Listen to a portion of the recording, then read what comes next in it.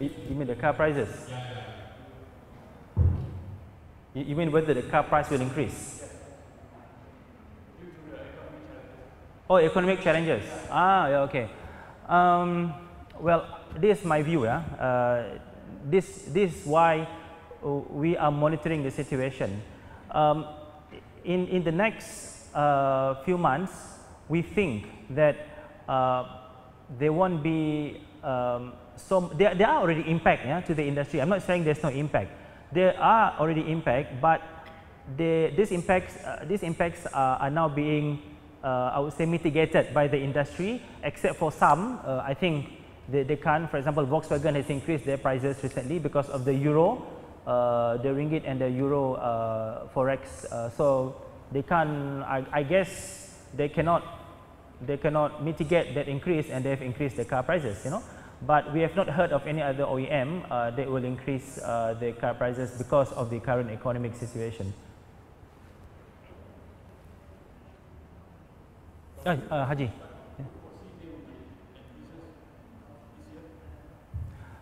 That, that's why we are setting up a committee. The whole idea of setting up this committee is we are monitoring the situation, you know, and we anticipate that by mid-year, if the situation persists, meaning if the crude oil continues to reduce and the US dollars continue to appreciate, by mid-year, if we don't do anything, there will be impact. That's why we set up committee. This committee is not only monitoring, but to provide action plan.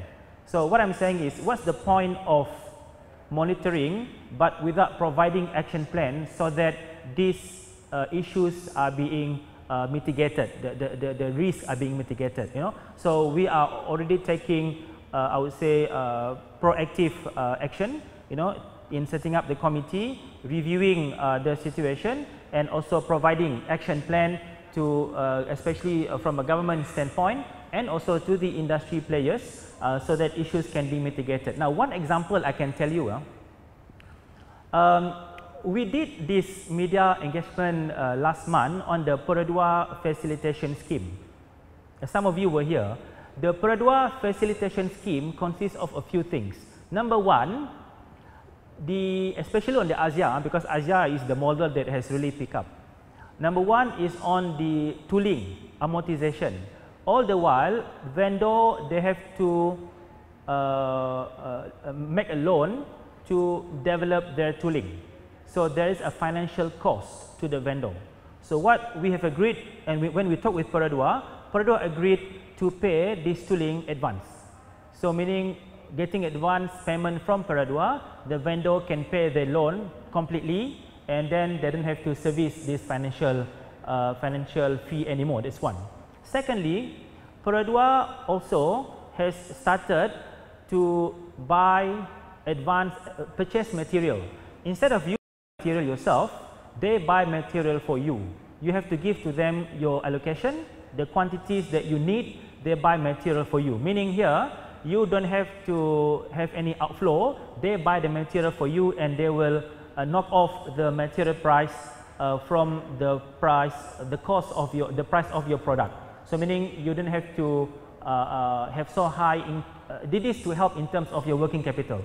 Second, uh, thirdly, Normally we pay two months, right? I mean, uh, what you call it, uh, uh, payment, uh, when we pay, we pay in, in 60 days term, 60 days payment term.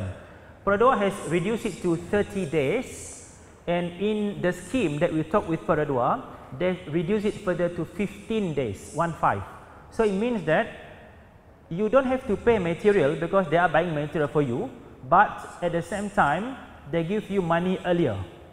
So these are some of the ways that we have started to do to mitigate the issues within our vendor community. And more is to come. That's why the committee is very important. And the committee is the one that review and, and, and try to put action so that you know vendors, uh, the stakeholders basically can be helped during these difficult times.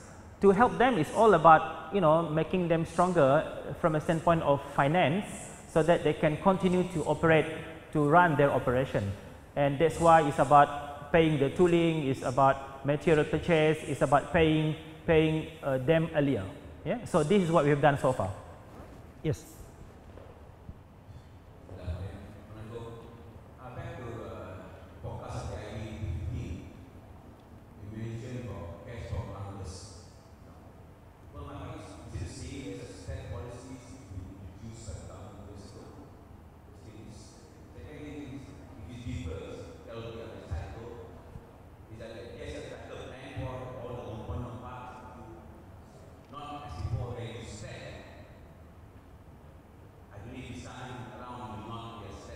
Yeah. Yeah.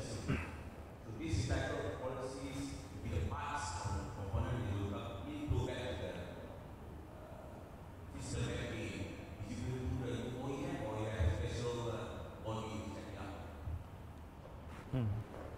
Okay, the the cash the cash flow the cash for clunkers. Me.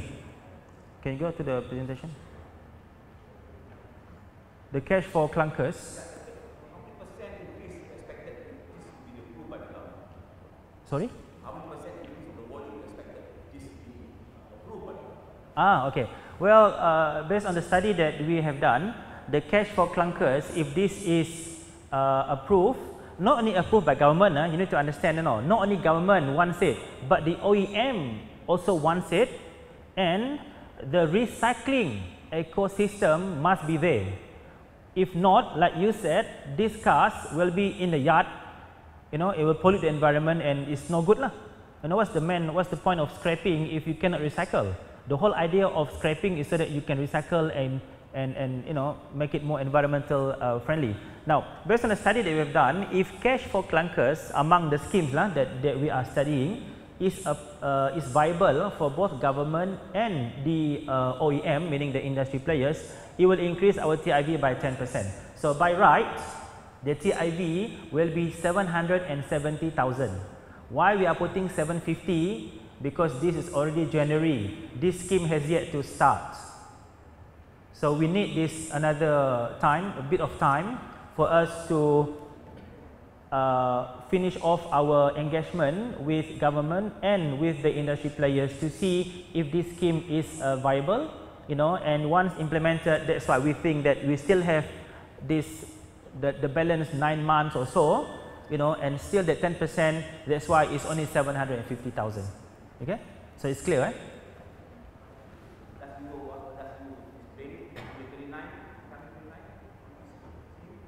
No, no, no, no. 29 is more about NAP updates. NAP updates, yes.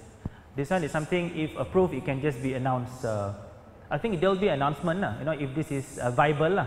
No, don't use the word approved, like guys. It's viable because it's about, you know, it's about OEM giving in money. Let's say, for example, uh, it's 5,000 ringgit. So the OEM will have to dump in 2,500 and the government will have to dump in 2,500. So it's 5,000. So in the current situation where the government can give 2500 per unit or whether the OEM can afford also to give 2500 something that we are studying in terms of its viability.